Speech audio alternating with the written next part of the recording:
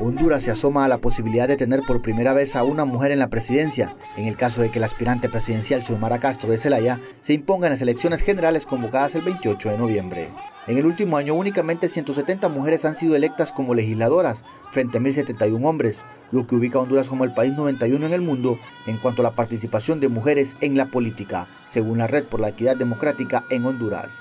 Cualquiera que sea el ganador de las elecciones tendrá la oportunidad de abordar reformas profundas. La socióloga Norina Rodríguez dice que Honduras necesita un cambio en lo económico, social y en la lucha contra la corrupción y la impunidad tras los desaciertos de los últimos gobiernos. Las mujeres invitamos a la población hondureña a revisar y analizar esas planillas y ver que todas las planillas llevan mujeres en esos cargos y que sí pueden votar por las mujeres.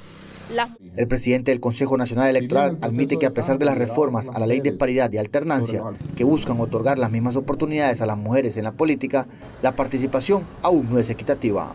Logró el reconocimiento a su derecho al voto, de participar en los asuntos políticos, en los asuntos públicos, el Instituto Universitario de Democracia, Paz y Seguridad estima que la mitad de los militantes del Partido Nacional son mujeres, pero la proporción es de solamente el 36% en el Partido Libre, 28% en el Partido Liberal y un 2% en partidos minoritarios. Oscar Ortiz, Voz de América, Honduras.